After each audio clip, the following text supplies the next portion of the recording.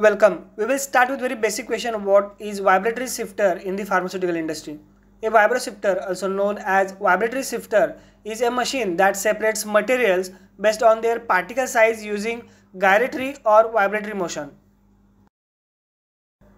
What are the key parts of vibratory sifter? You can refer below pictorial for key parts of vibratory sifter. Key parts includes feeding inlet, shield, outlet port, anti-vibrating spring, engine base, electromotor, sieve frame and clamp. What layer sifters are commonly used in the pharmaceutical industry? One layer, two layers, three layers and four layer sifters are commonly used in the pharmaceutical industry. What are the two types of cleaning done for vibratory sifter? First type is dry cleaning. This cleaning is usually done between batch to batch changeovers before wet cleaning or at the end of day's operation. Second type is wet cleaning. It is also known as product to product cleaning. This cleaning is done usually between product to product changeovers after 6 to 8 days of continuous production of the same product during a major breakdown of the machine or after the device has been idle for 30 days. When we should qualify vibratory sifter in pharmaceutical industry? There are three cases or conditions in which we should qualify vibratory sifter in pharma industry. First is at the time of initial introduction of vibratory sifter to the system or facility. Secondly, periodic requalification. This is done based on the plant specific SOP usually after 2 years or 3 years. Third is when major change is done to the qualified equipment that is vibratory sifter this one is more technical question. Question is what we should do for hard material sifting in vibratory sifter we can follow these eight steps or guidance points for hard material sifting in vibratory sifter first select robust screen material. Second choose optimal screen configuration. Third adjust vibration parameters. Fourth regularly inspect and maintain. Fifth monitor and adjust feed rates. Sixth utilize secondary agitation Seventh, implement rigorous cleaning and eight, document process parameters. What are the main factors that affect the efficiency and effectiveness of a vibratory sifter in pharmaceutical applications? Here is the list of six main factors that affect efficiency and effectiveness of vibratory sifter. It includes first material properties which are particle size, shape, density and moisture content. Second is screen characteristics which includes mesh size, type, tension and surface area. Other main factors are vibration parameters, equipment design, feed rate and distribution and environmental factors like temperature, humidity and airflow conditions. How do you properly set up and adjust a vibratory sifter for different types of pharmaceutical materials? You can refer below 4 bullet points for properly setting up and adjust a vibratory sifter. These are first material analysis which includes assessing particle size, density and flow characteristics. Second is screen selection. Third, vibration adjustment and fourth is feed rate control. How to check level of vibratory sifter in pharmaceutical industry?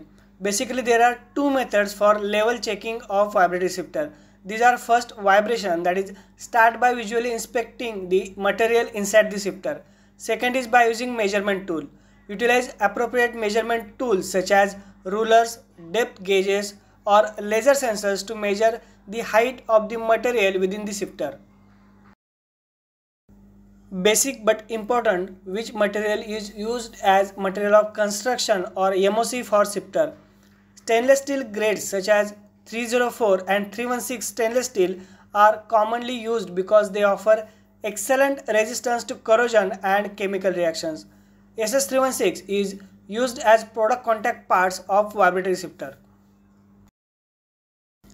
What are the commonly used sizes of sifter available in pharmaceutical industry? The smaller sizes such as 12 inches and 24 inches are often used for laboratory or pilot scale operations. Medium sizes like 36 inches and 48 inches are suitable for moderate production volumes and are commonly found in pharmaceutical manufacturing facilities. Larger sizes like 72 inches are used for high volume production and can handle larger quantities of material.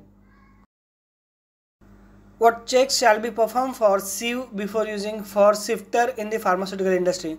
Following are the four important checks that shall be performed for sieve before using for sifter in pharma industry.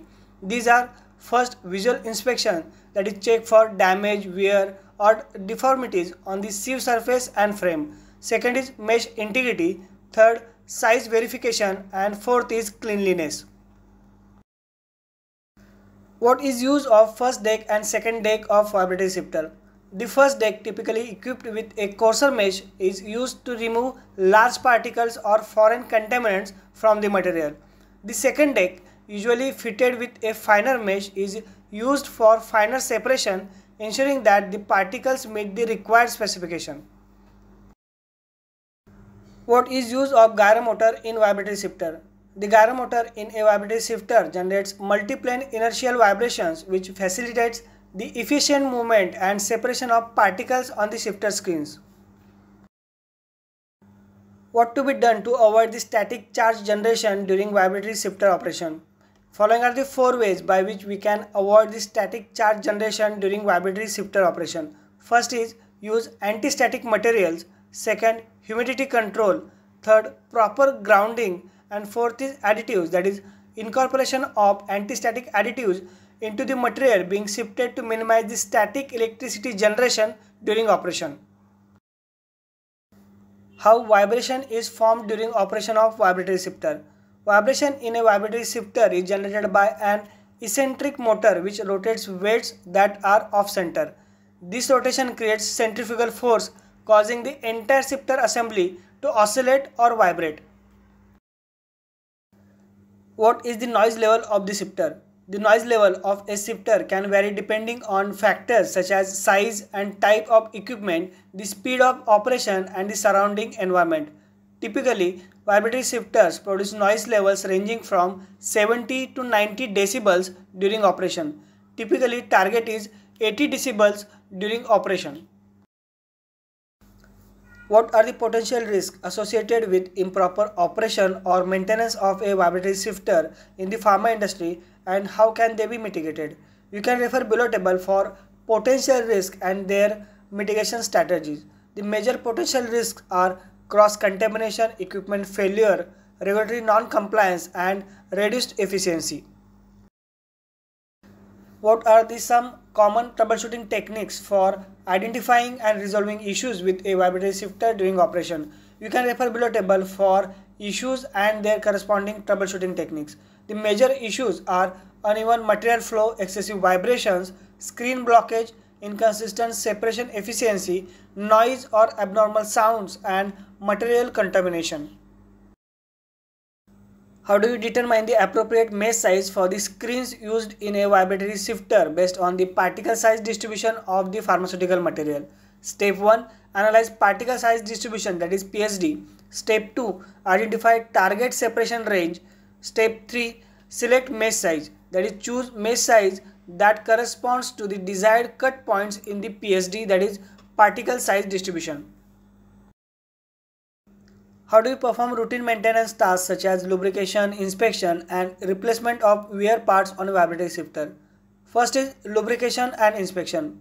Regularly lubricate bearings and moving parts as per manufacturer's guideline. Inspect screens, gaskets and seals for wear or damage ensuring all components are clean and free from residue. Second is replacement of wear parts. Replace worn and damaged screens, gaskets and seals promptly to maintain sifter efficiency. What are the potential consequences of overloading and underloading a vibratory sifter and how can these issues can be avoided?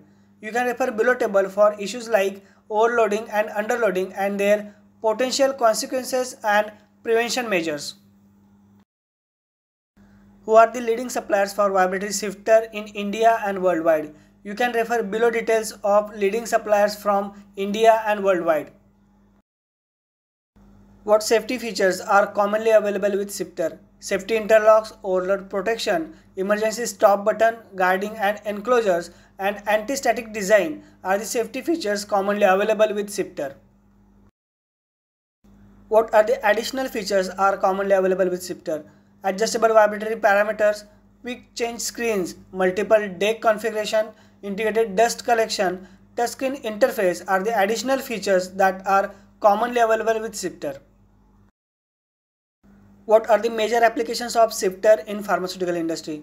Particle size classification and deagglomeration are the major applications of Sifter in pharmaceutical industry.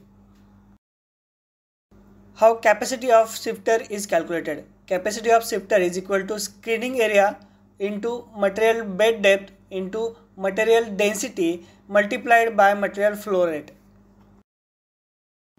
What are the recent advancements in Sifter for pharma industry? Below are the few areas in which we can see the advancements in Sifter for pharma industry. These areas are automation, material handling, sieve design, containment, screen cleaning, compliance features and ergonomics. Last and important question which guidelines are commonly referred for Sifter in the pharmaceutical industry? Good manufacturing practices that is GMP, International Conference on Harmonization that is ICH guidelines, USP guidelines and ISO guidelines are the commonly referred guidelines for Sifter in pharma industry. Don't forget to like, comment and share. Subscribe to channel for more videos related to our pharmaceutical industry.